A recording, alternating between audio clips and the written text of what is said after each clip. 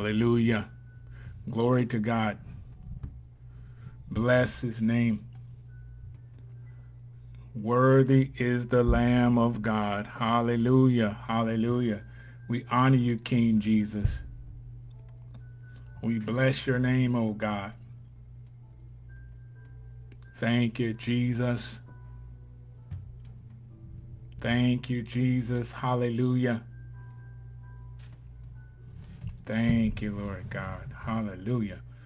Holy Spirit, have your way. Have your way. Have your way, God. Have your way. Thank you, Lord God, for your presence dwelling in our midst today, oh God. You are awesome. You're mighty. You're sovereign. You're holy. You are the good shepherd, the bishop of our souls, and we bless you, God, for who you are. You are the rock upon which we stand. Hallelujah. Thank you, Lord God. Hallelujah to the Lamb of God. Thank you, Lord. Thank you, Lord. Thank you, Lord. Well, you know, today is a great day. The Lord is good. His mercy endures forever. The Lord has blessed me to see another birthday today. I'm so excited because I turned 56 and still going strong in the Lord. God is so good. His mercy endures forever. It doesn't matter what's going on in our lives. God keeps on doing great things for me. Every day is a blessing just to be able to get up and still have the activity of your limbs, still functional. You know, God is so good. He allowed the death angel to pass us by while we rested on last night. He woke us up this morning uh, right on time, didn't let us sleep too late.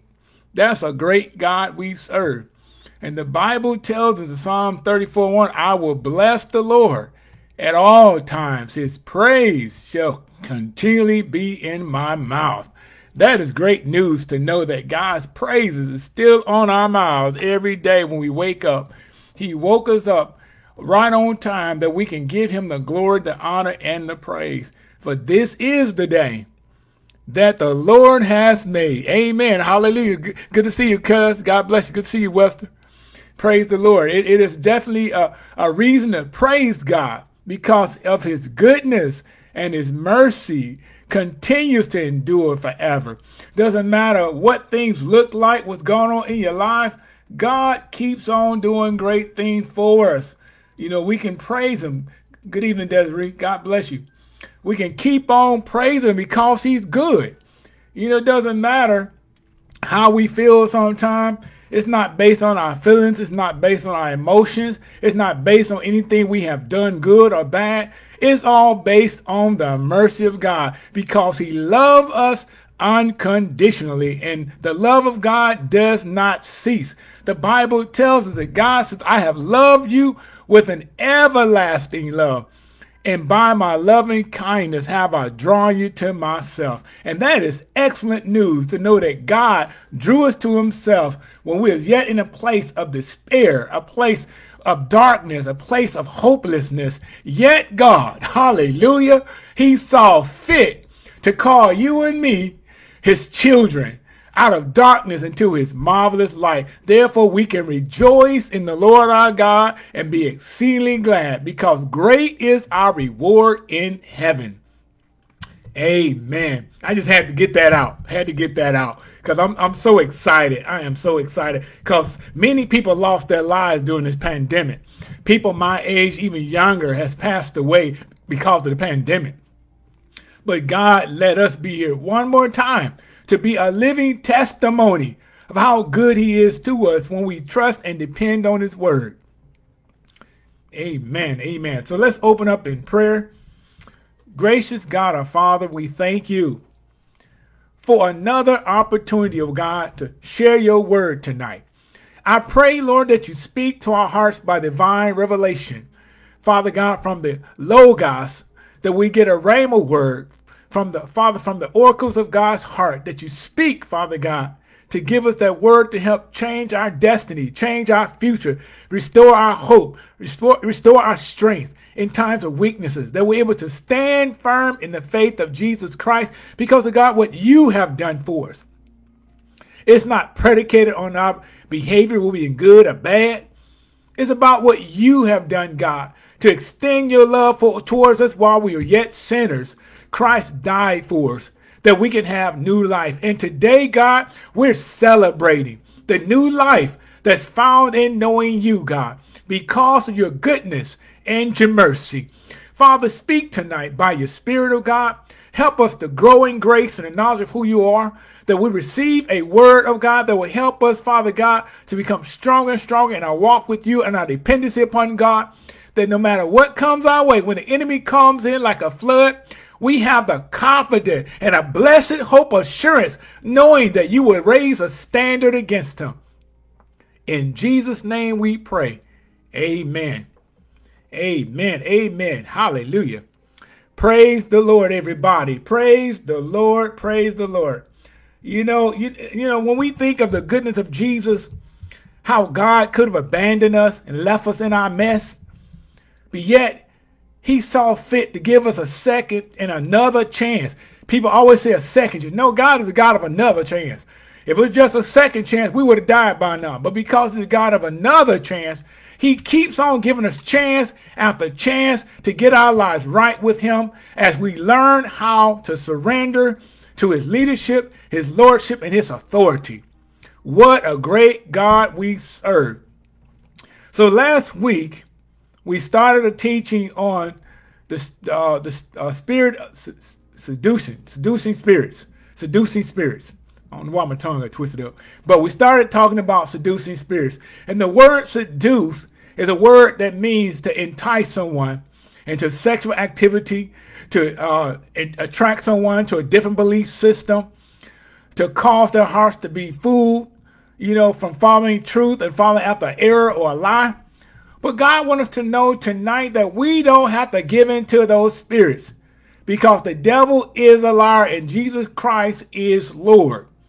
Our key scripture is in James chapter 1. James chapter 1, well, actually, First Timothy chapter uh, 4. First Timothy chapter 4, and it, it starts at verse 1. First Timothy chapter 4, then we're going to go to James chapter 1, verse 14 and 15. So, First Timothy chapter 4, verse 1 says, Now the Spirit speaketh expressively that in the latter times some shall depart from the faith, giving heed to seducing spirits and doctrines of devils, speaking lies in hypocrisy, having their conscience seared with a hot iron. That's a shame. You know what God is talking about?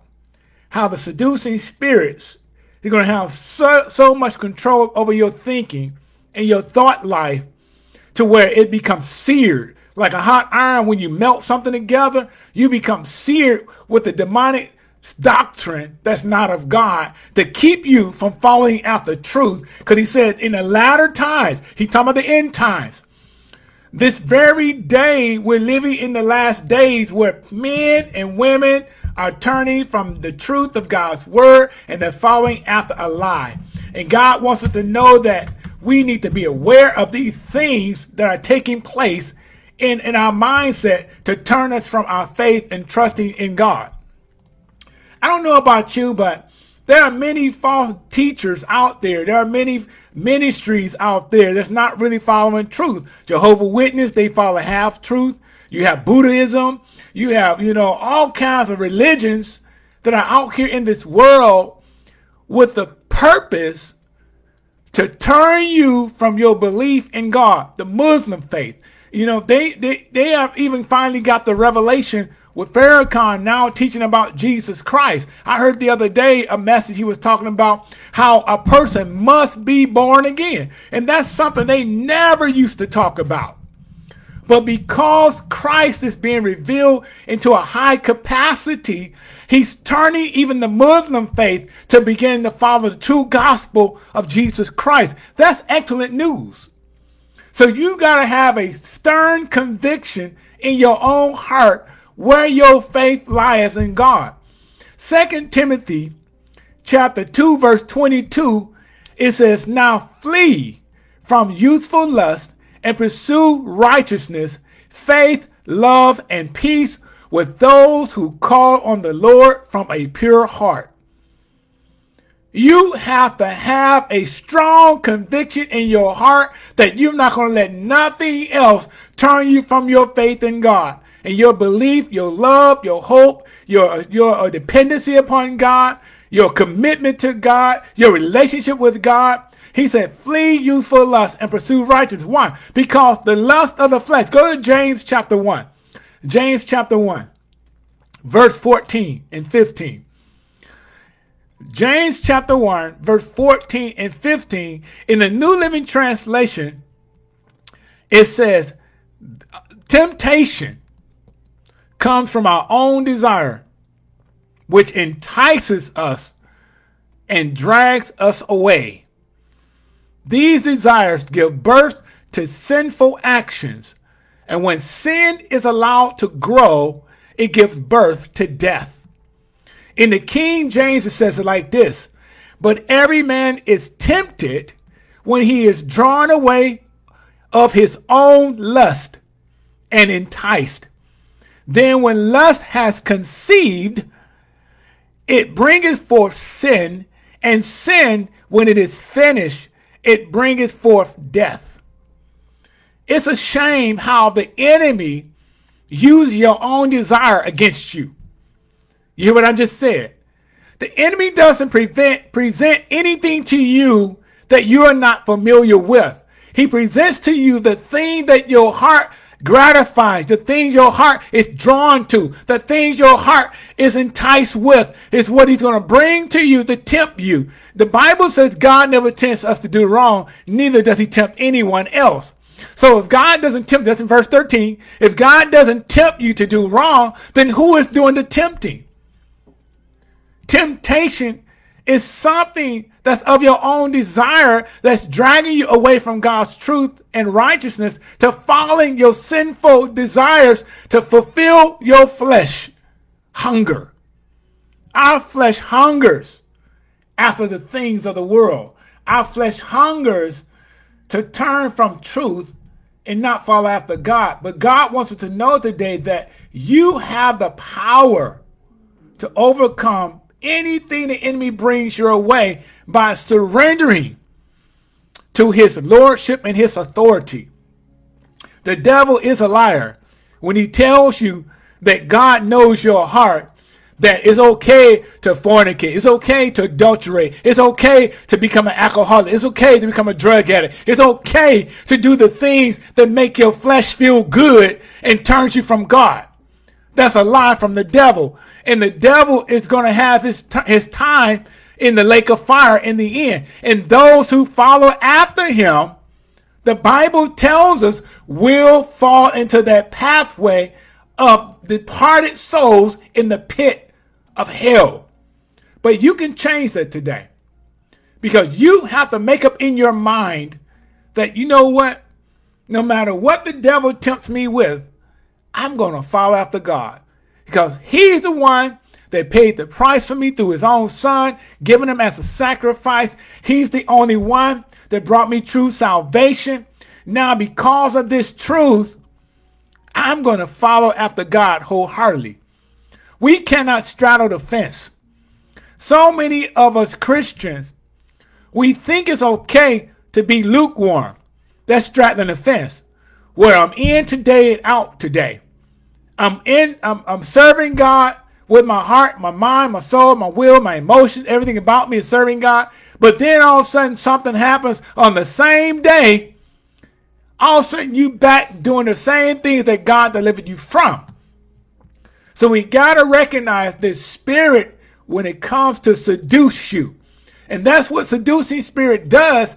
It feeds you the things that you desire the most to cause you to fall into to sin and rebellion and resentment from God. So the strong man are especially active in the last days of our age as evil becomes irresistible. You hear what I just said?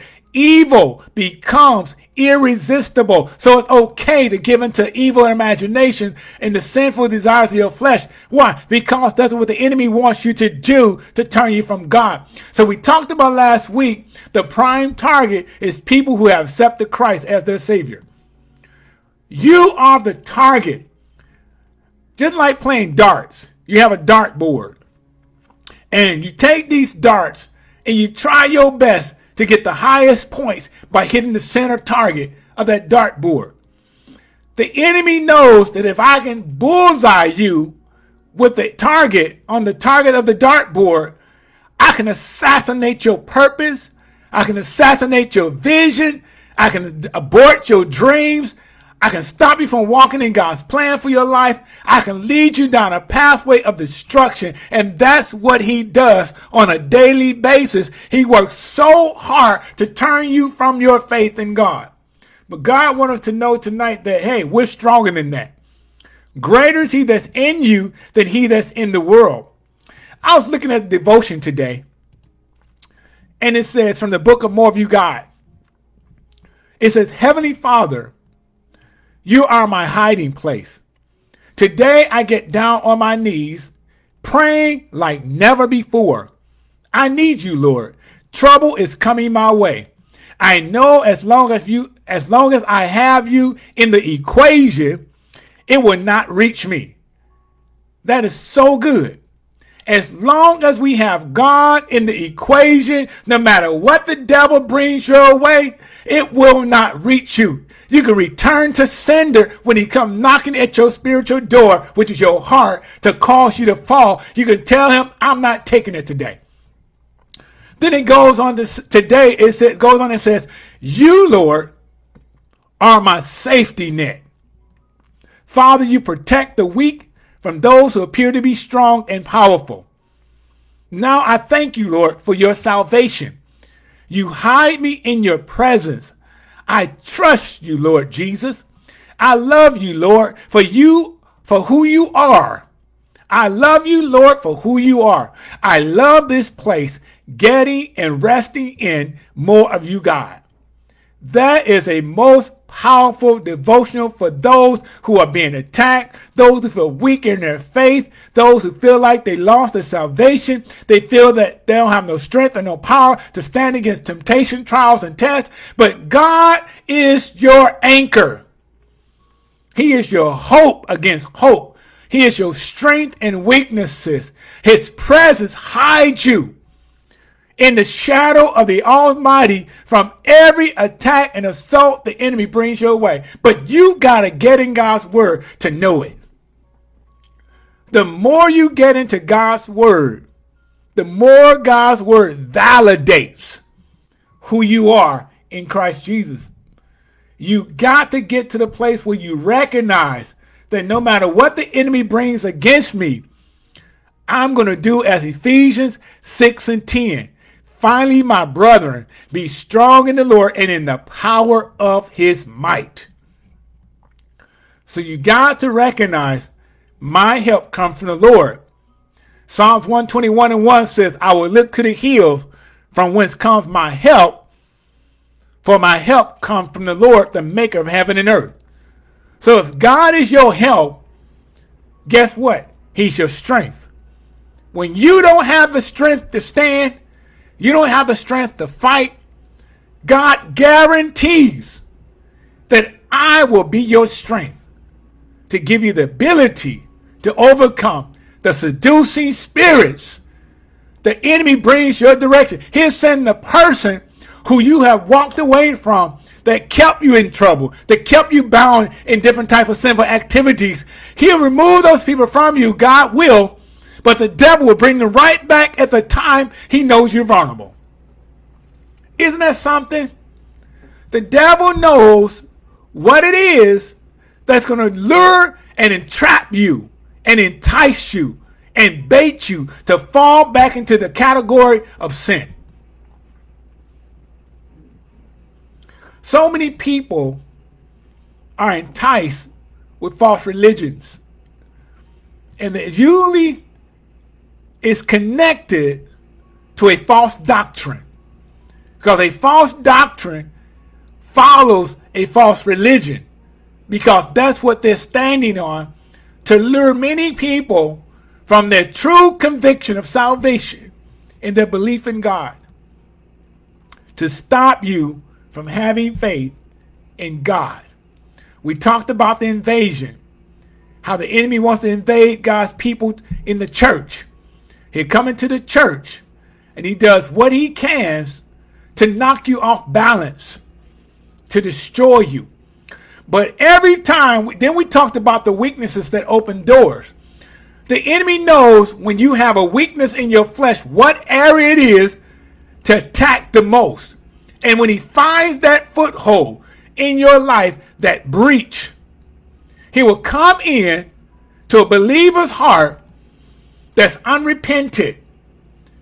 And he will stop you from recognizing your mistakes, your shortcomings, your failures. He'll blind you from the truth. The Bible tells us like this if the gospel be hid, it's hid to those whom the God of this world has blinded the minds of them. The enemy knows how to blind you. He knows how to stop you in your track. Just like when God told Lot, when he came to Sodom and Gomorrah, he sent an angel to deliver his people. But yet so many people were caught up in fornication, adultery, and homosexuality, lesbianism, all these different things. That's why it was called Sodom and Gomorrah, because it was wicked city.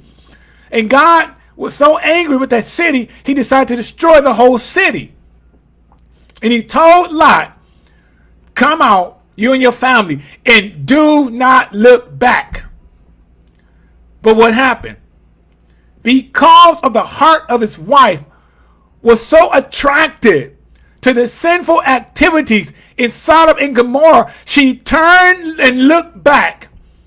And the Bible says she became a pillar of salt, which is a memorial to this very day to remind us how we do not need to look back to the thing God delivered you from and stay there. It's okay to have a memory to reflect back to the thing God brought you out of and remember how he delivered you and praise him for the deliverance. But the problem comes in when we ponder in our minds the sinful activities, the things we engaged in our life along the pathway of our journey, and it held us in bondage and imprisoned us in our minds away from truth and righteousness. And God says we got to get to the place where we recognize that you cannot stay in the place of bondage. You gotta reflect back and give God the praise. Because he said, he said, God said your word, forget those things which behind and, and press forward towards the mark for the prize of how you call them God in Christ Jesus. So we gotta look forward. We gotta press forward with a conviction of heart, knowing who I am and whose I am. Otherwise, that seducing spirit will come through any type of avenue the television, the radio, family members, friends, neighbors. It will come through anybody that you know that is not serving God. And it will try to entice you and lure you and drag you back into the sinful activities that will cause you to fall into a place of captivity and bondage and destruction. If he has left an open door, anyone leaves an open door, Satan, he, he takes that as an opportunity or an invitation to come into your life to tempt you, to fall away from grace. So we got to recognize that the enemy is a liar, God is exalted, and Jesus Christ is Lord we got to know with the truth for ourselves that we don't have to be in a place of captivity anymore because he who the Son has set free is free indeed. We got to recognize the devil is a liar and he is not to be trusted, he's not to be relied on. You can't depend on him because he will deceive you, he will manipulate you, he will cause you to fall. we talked about neutralization. The enemy, what he does, once he gets a foothold in your life, a breach in your wall of your heart, he comes in to neutralize you. And to be neutralized is when the enemy comes in to harass you and oppress you by sin, accompanied by demonic activity to cause you to become very inactive for the kingdom of God. That's what the enemy does. He wants you to become inactive, where he can stop you in your track and prevent you from walking in truth and righteousness. If you don't recognize what spirit it is, I was talking to a, a, a pastor friend of mine earlier today, and the Lord reminded me that we have to recognize the spirit that's behind the spirit. And what I mean by that, many illnesses that come upon people's lives are because of something we might have opened up with our, our mouth or our ear gate and we didn't cast it down. People can come into your ear gate and tell you you look sick today. They can tell you you don't look well. They can tell you that you, you look like something wrong with you. You, you look angry today. You look miserable. And you don't cast down that spirit where they just spoke to you.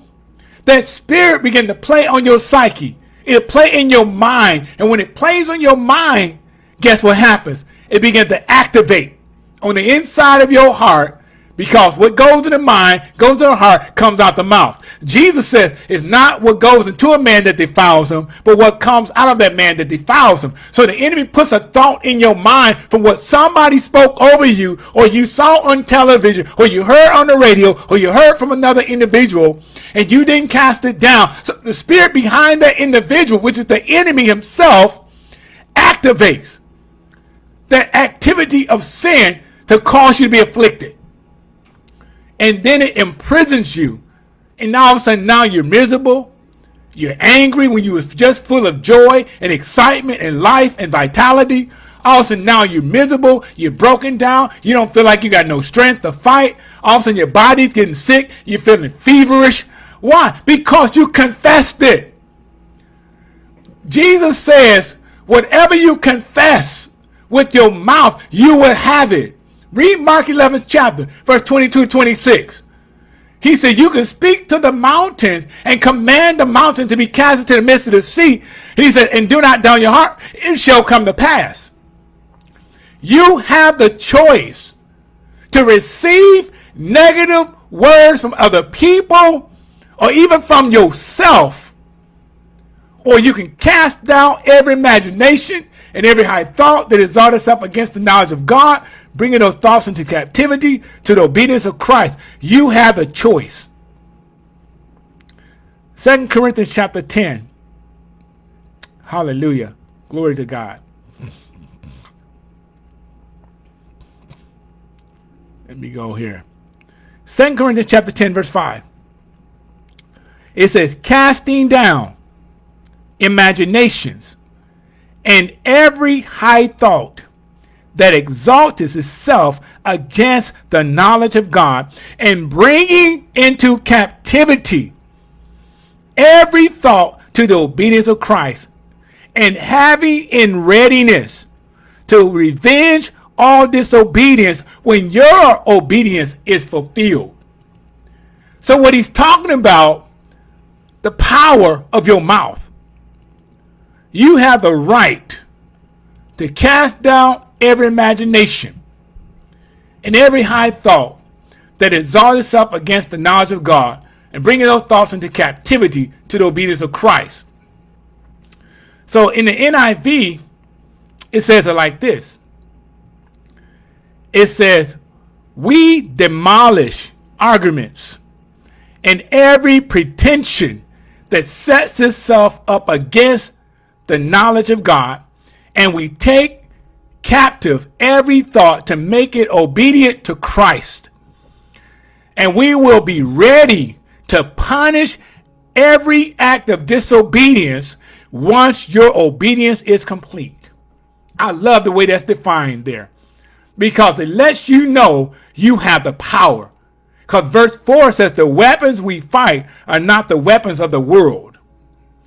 On the contrary, they have divine power to demolish strongholds.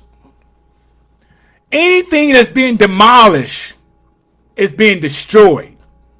You have the power in your mouth through the word of God to destroy arguments. So if anyone come to you on the contrary, trying to argue and, and debate about the word of God, you have the right to cast it down. Because anything that's being demolished is being ripped to shreds, being destroyed. Dynamite is, is just, just tearing it to pieces. And that's what God says. We have dynamite power on the inside of us. So we got to take that power, which is the word of God, to fight against the strongholds of the enemy. So we can't allow the enemy to neutralize us by sickness, economic problems, unsaved relatives, fear, heaviness, spiritual pride, arrogancy, haughtiness, bitterness, anger, malice, jealousy, hatred. We cannot allow the enemy to victimize us by those spirits of those activities anymore. Why? Because we're casting them down from our mentality because we're speaking, as Joshua 1 and 8, we're speaking the word of God to ourselves as we meditate on the word of God day and night to keep it in our hearts. That's what the word says.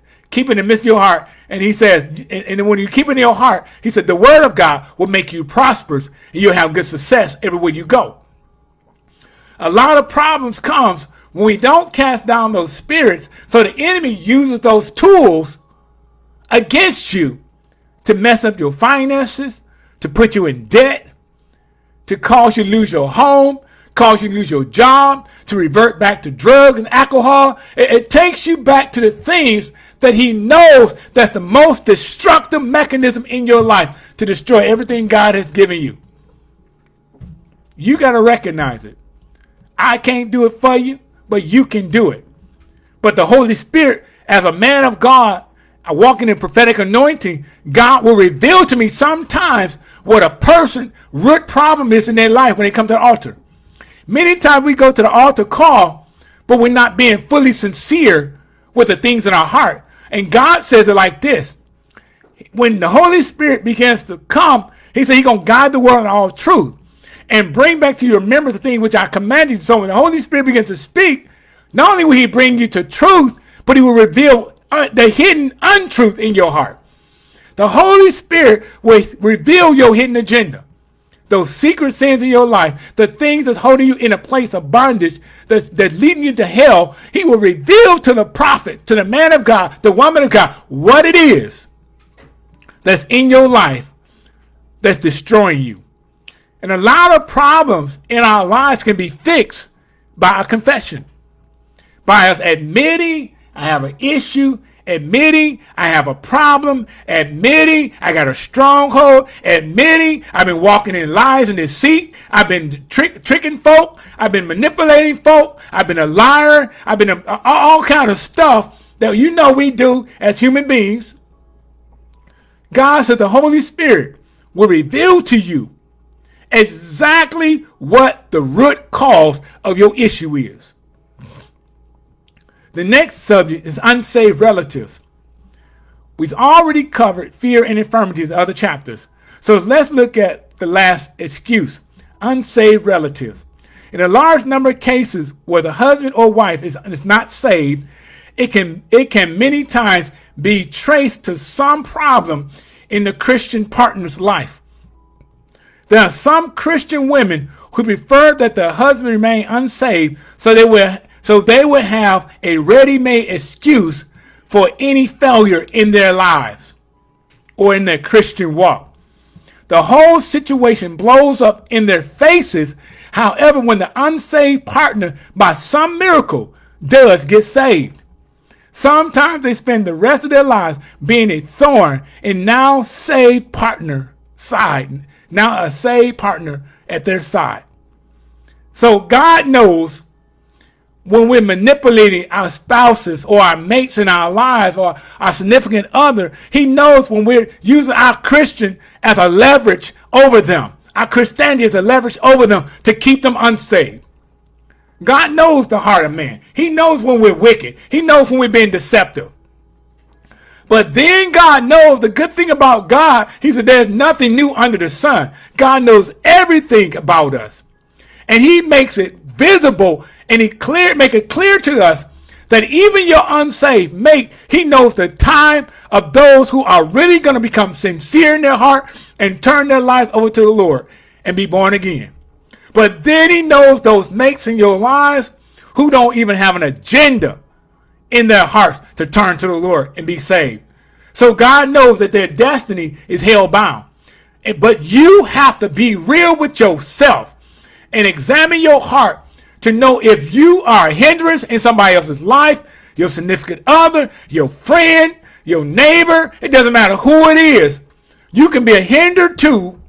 God wants you to examine your heart to see whether you are walking in truth and righteousness in the faith or you being stubborn, resentful, and prideful, and arrogant, and manipulating folk. So God knows where your heart is. The carnal Christian.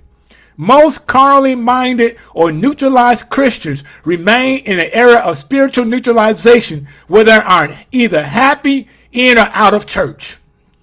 Pity to the poor pastor who attempts to shepherd such a church member, for it is nearly impossible for them to get saved. The carnal Christian will usually get his feelings hurt by something or someone and quit the church in a huff. Here, uh, here's the point where many depart from the faith. They are set up for the kill, living carnally, angry at the pastor or a fellow church member, but still have a desire to attend church. That's a shame. That is a, a crime shame that a Christian who's carnal, and carnal is another word for fleshly. It's like you have hardly walking for the Lord. You have hardly serving God you have hardly given your life to Jesus. So you feel like I can be fleshly, serve God on my condition and my terms, and still go to heaven. The devil is a lie. Because if you're carnally minded, in Galatians chapter 5, it tells us you become an enemy of God. But the heart that's walking in the Spirit, that mind of the Spirit, he says, is life and peace. But a person who's living carnally look for any type of excuse for a reason to stop going to church. Oh, it's okay to stay home and watch TV. I can see church on TV. I ain't got to go be, be, with them saints. I ain't got to go uh, listen to that choir music. I don't have to do this or do that. Why? Because I can get the same thing at home. You know what? You're right. You can stay home and watch TV. You sure can. You stay home and watch Christian church. You can. But the problem comes in is your spiritual growth is, is, is vulnerable. It's being hurt. It's being assassinated. It's being aborted because you're not growing in your house by yourself. The reason God, he said, in the body of Christ, there are many members, but yet they're one body. Because he said, iron sharpens iron as one of another to a friend. Because he knows that relationship with other believers is what helps strengthen you and encourage you to walk stronger in your relationship with the Lord and to overcome the struggles and the habits and addictions that somebody else already defeated. And they can show you how you can overcome the same thing by walking in relationship with other believers. But then you got the carnally minded ones in the church who look for reason to be argumental with other Christian folk. Look for reasons to stop going to church because I'm mad at the pastor. I'm mad at a church member. I'm mad at what how they not teaching the way I want them to teach. I'm mad at because they're not serving God the way I was raised to serve God. Everybody's personal conviction is going to be different from yours.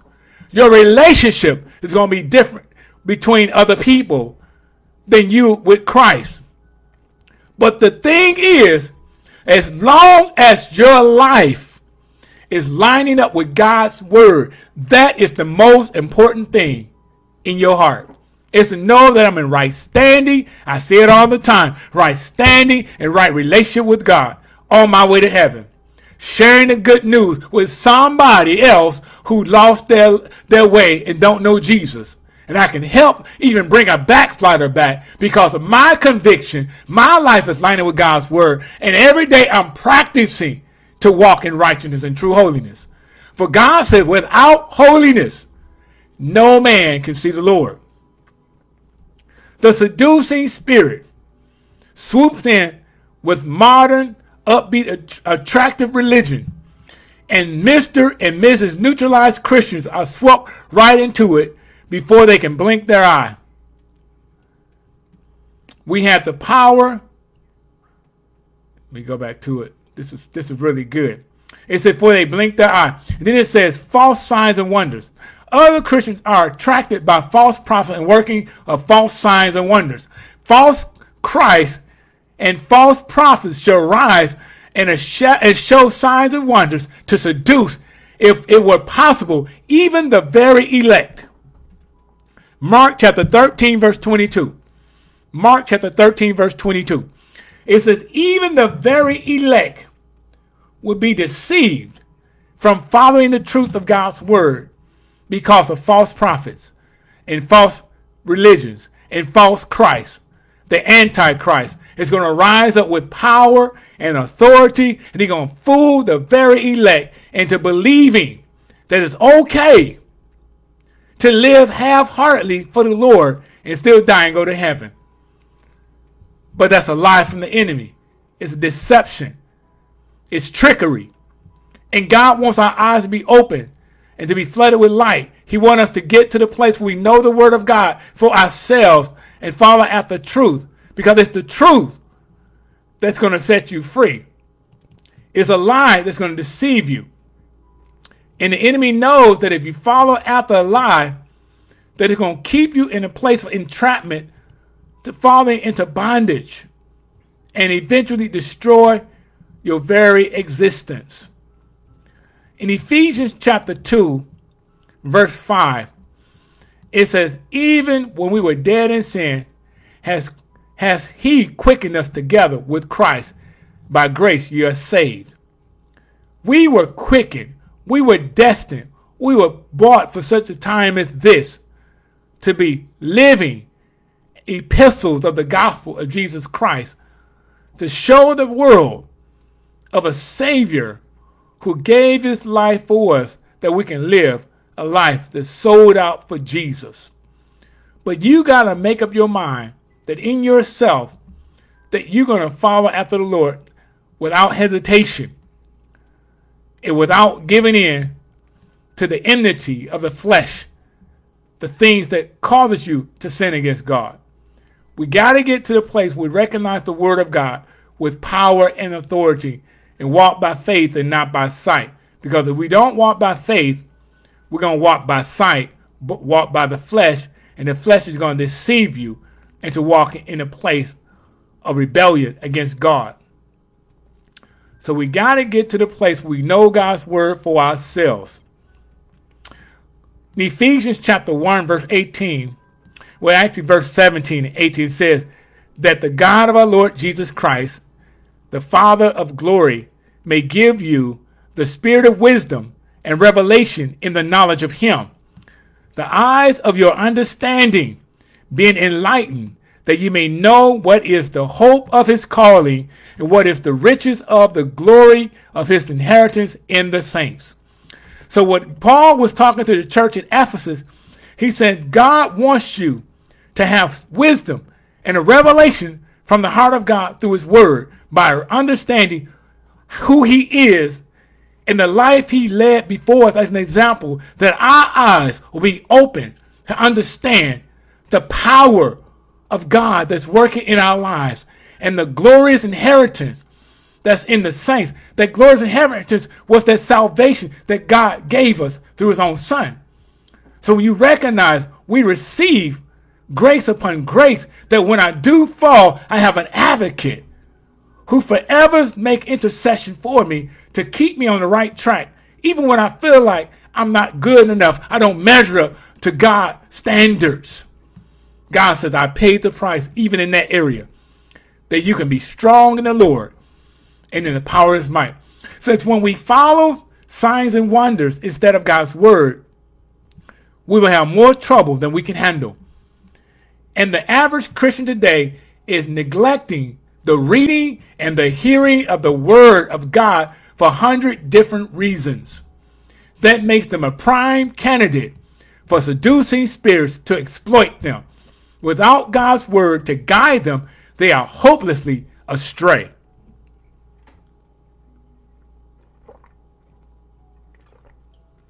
So you got to get in the Word of God and get the Word of God inside of you so you can learn about the life that we are to live for the Lord. So you can learn about your identity, your nature. Because we've been adopted in the family of God because of what Christ has done. God says we're heirs and joint heirs with Christ Jesus. And because we're heirs and joint heirs, guess what? We receive the glorious inheritance of the saints that's in God. Because God loved us enough to say, you know what?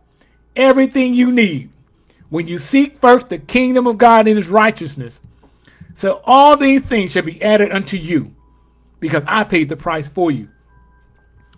Speaking of false prophets, who will operate during the Great Tribulation. We're told that he does great wonders so that he makes fire come down from heaven on earth in the sight of men and deceiveth them that dwell on the earth by means of those miracles which he had the power to do in the sight of the beast. Revelations chapter 13, 13 and 14 talks about the Antichrist he's going to perform many wonders in the sight of man to where it's going to be the power that comes from the enemy that's against God working in your life. And it talks about how the even the very elect, God's children, his chosen vessels, if they don't stay in the word of God and keep walking in truth and righteousness, they will be the very ones that will be led astray by the Antichrist we are seeing the buildup of the time in the world history. Only those who live carefully according to God's word will be able to sense the true direction they should choose. That is so true and that is so amazing that only the true believers who are following after God through Jesus Christ will be directed by the Holy Spirit and know which way they should go because the Holy Spirit will guide you into all truth and direct you in the truth, in the pathway God has set before you. Many seducing spirits come through music. It comes from various types of activities, cultisms, adultery, filthiness, drugs, homosexuality, anti-God, all these different things, many other things the Bible talks about are the attributes of a seducing spirit that will lead you into Satan's cesspool of unbelief and disobedience to where it brings you to the pit of despair to destroy your life. We cannot play in the garbage and end up smelling like end up not smelling like trash. If you climb into a dumpster looking for something you may have dropped in there accidentally, what happens when you come out of that dumpster?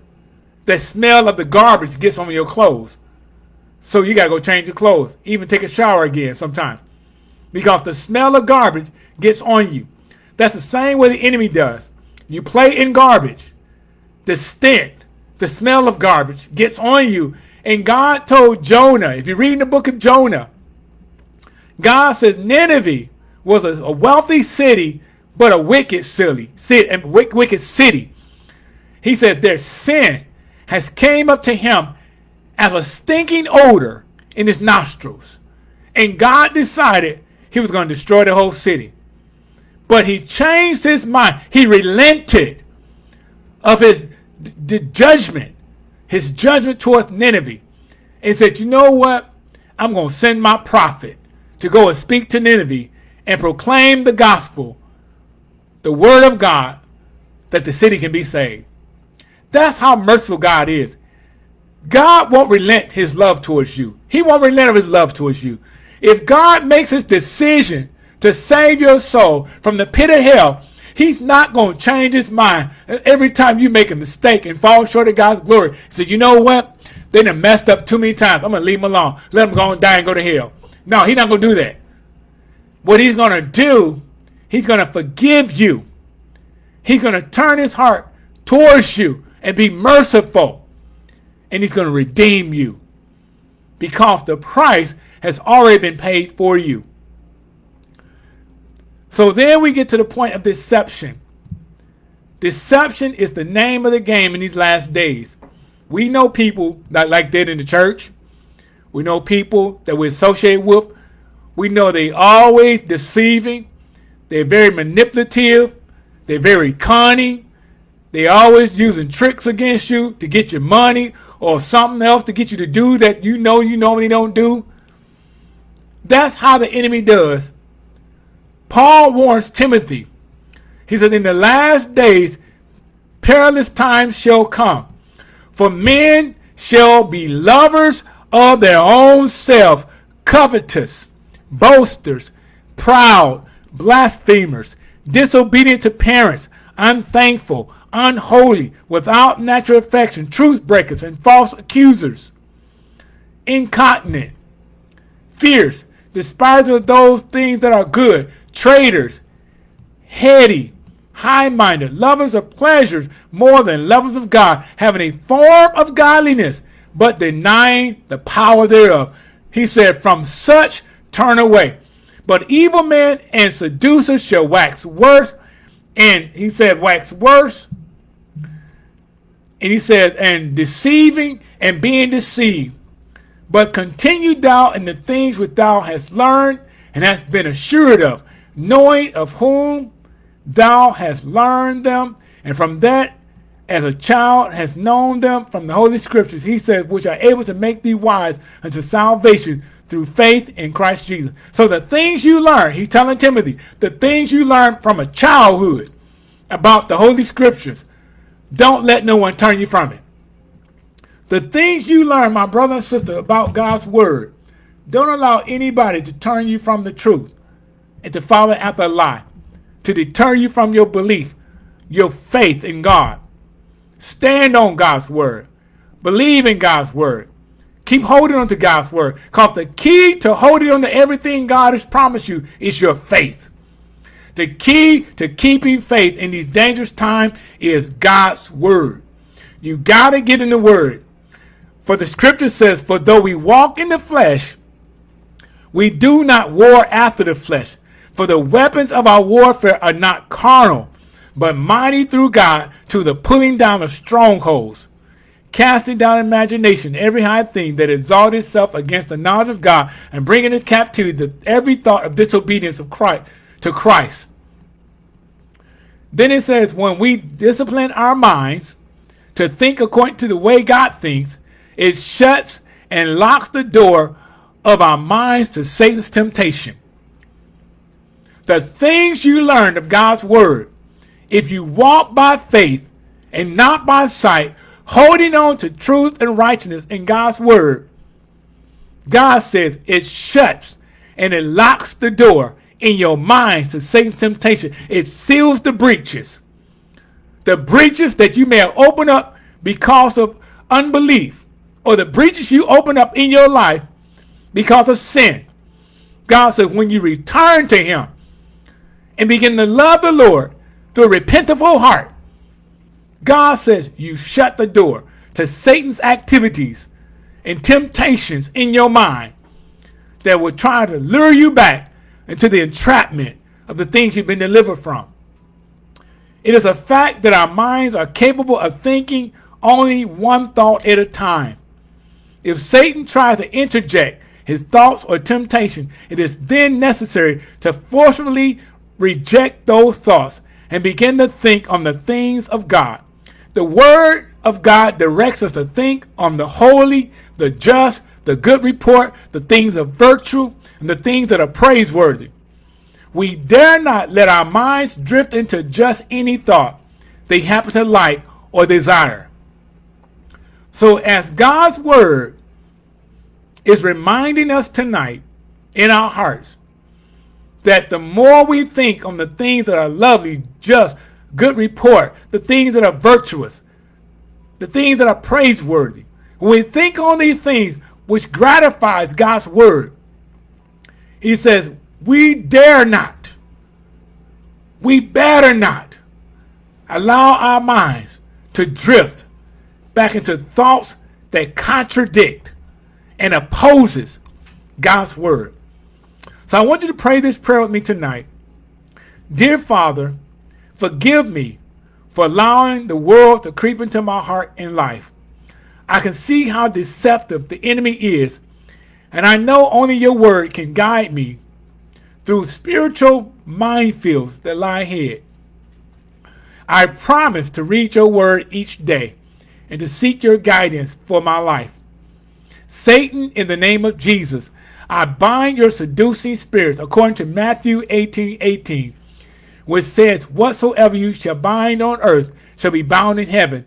I realize you are trying to cause me to depart from the faith. So I command you to leave me alone from this moment on. I choose to follow Jesus. And that leaves you out of the equation, out of my life, Satan, in Jesus' name. Now go in the name of Jesus.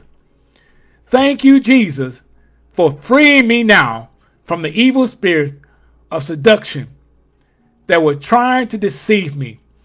I loose your Holy Spirit in my life according to Matthew 18 18, which tells me, Whatsoever ye shall loose on earth shall be loosed in heaven. And I thank you for forgiving me and giving me the victory over the, every power of the enemy. And I appropriate the mind of Christ to be my mind according to your promises.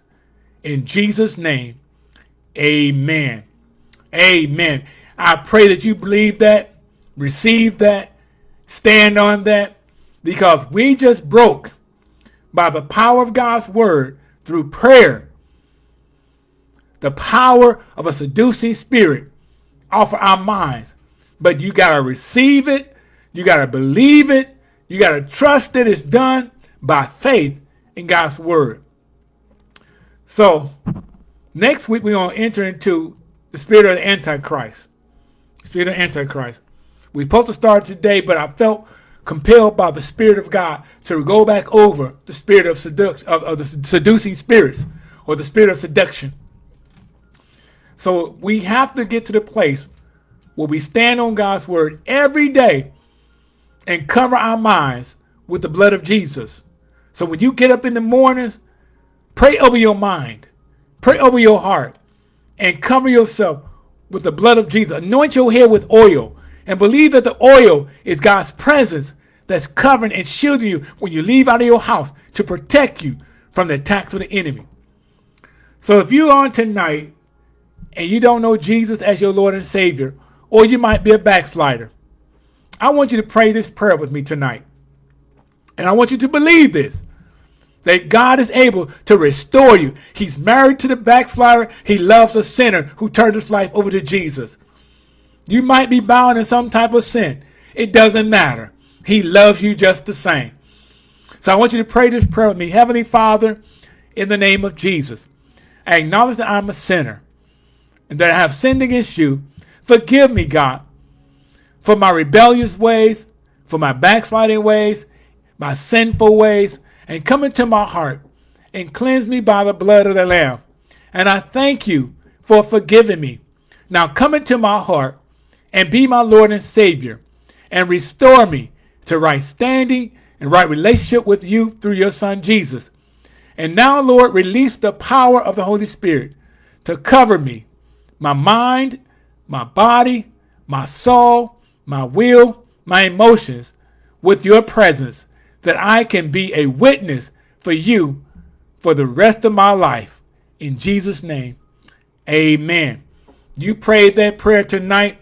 Allow the Spirit of God to minister to your heart, and I guarantee that God will, He will bring you to the place of victory from the days of your life as you walk by faith and not by sight.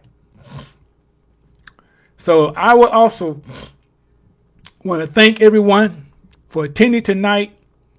If you feel in your heart to sow a seed into this ministry, it goes right back into the church. Every seed that anyone sows, I put it right back into the church because that's what God instructed me for the upbuilding of the kingdom of God.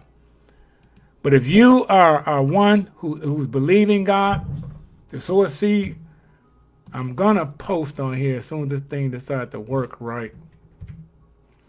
Okay, I just post the link of sowing a seed into the ministry. If you feel compelled by the Spirit of God to sow a seed, doesn't matter what amount it can be five dollars, ten dollars, twenty dollars, whatever it is that God put in your heart to sow. That seed is for the upbuilding of God's kingdom. Not only that, but by faith is for releasing the harvest into your life that God has for you. I'm a giver. I love giving to the kingdom of God. I help many people out as God instructed me to help because I believe in sowing seeds in people's lives as well. And when God touched my heart to do that, I do that. But I encourage you to sow a seed. The Bible says if you sow sparingly, you reap sparingly. You sow bountifully, you shall reap bountifully. And God promises that when you give, it will come back to you good measures, pressed down, shaken together, and running over, shall men give into your bosom. So I encourage you tonight to allow the Spirit of God to move upon your heart, to sow a seed, and believe God for a harvest in return.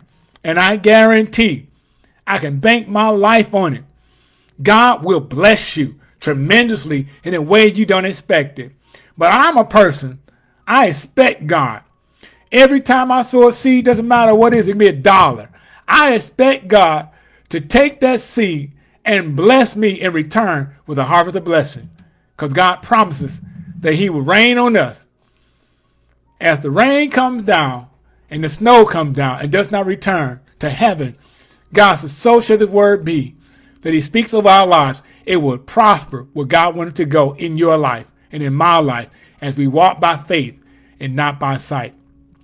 So, Father, tonight we thank you for this lesson. I pray that something have been said that would encourage the people of God to keep standing strong in their faith and their conviction in serving you with their hearts, their minds, their souls, their will, their emotions. Father God, no matter what the enemy brings their way, temptation, trials, and tests is defeated because Jesus Christ has led us into triumph. He gave us the victory. And because we have the victory, we walk by faith and not by sight. And we thank you, Lord God, that we are more than a conqueror. Therefore, we will not be conquered. We're the head and not the tail. We're above and not beneath. We're the lenders and not the borrowers because we believe in your word, Father God, in the name of Jesus, that it is so. And I thank you, Lord God, that you continue to bless your people who heard this word tonight, Father God. This word will meditate in their hearts, bring back to the remembrance when they leave this recording tonight, Father God, and begin to hear this word again in their spirits. It will remind them that they are strong in the Lord and in the power of his might. And I thank you, Lord God, in Jesus' name. Amen. Amen. Anyone have any questions or comments before we go that you'd like for me to answer? But I want to thank everybody for your support tonight because I, I really believe these lessons are changing somebody's life. I don't know about you, but it's changing my life. The more I hear this word, because God speaks to me first, and I teach this word, it's getting in my spirit. And it gets in my spirit. If I'm in an area in my life that's not right with God, it convicts me first. Before I teach you, God hits me first. And then it hits everybody else. But I believe that this word is going to continue to strengthen you, encourage you in your walk in the Lord. Amen. Hallelujah. Thank you, Jesus. Thank you, Jesus. Hallelujah. Praise the Lord. Amen. Amen. If no one have any questions or comments, you can also inbox me. If you find a question you would like for me to answer later on, feel free to in inbox me. The scriptures I read tonight were posted earlier in the uh, recording uh, as people were commenting. Uh, LaShonda Cole has posted all the scriptures on here tonight. You can go back and look on the video under the comments, and you'll see all the scriptures again right there. Okay, Desiree? Yeah, the script the scriptures are there. Amen. But I will um I will inbox you too if you need me to. But uh you all have a, a blessed and a glorious night. And again, I want to thank everyone for your, your opportunity of tuning in tonight in our lesson. But truly, God is good. His mercy endures forever. So you be blessed on tonight. And I know everything that God has for you, He will fulfill according to His promises He has for your life. Until next week, share this video, encourage somebody else who you know that may be weak in their faith, who may be struggling in their faith. Send this message to them, this teaching, and I guarantee it's going to bless them as well as it bless you. And I thank everyone for the birthday wishes on today as well. And, and I'm just so grateful. I'm so grateful because God has blessed me with another opportunity to teach His lesson, even on my birthday.